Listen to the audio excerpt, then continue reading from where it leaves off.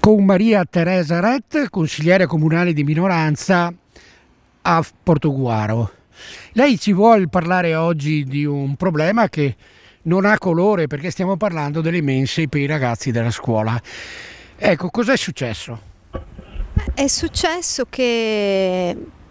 la vigilia di Natale è stato pubblicato sul sito del comune di Portogruaro la comunicazione che il servizio, la tariffa delle mense scolastiche avrebbe subito e subirà un aumento a partire dal primo gennaio di 90 centesimi a pasto. E ora questo solleva una serie di questioni, a parte il fatto che 90 centesimi a pasto per bambino significa una media di 18 euro in più al mese per bambino e per famiglie che hanno due o più bambini che mangiano tutti i giorni per otto mesi all'anno immense, insomma è un aumento considerevole. Al di là di questo, quello che ci ha stupito e ci ha portato come gruppo civici e democratici a presentare un'interrogazione in merito è innanzitutto la modalità di comunicazione, nel senso che se è vero come si evince che già al momento della gara e dell'aggiudicazione alla nuova ditta eh, questo aumento era previsto, perché non è stato comunicato prima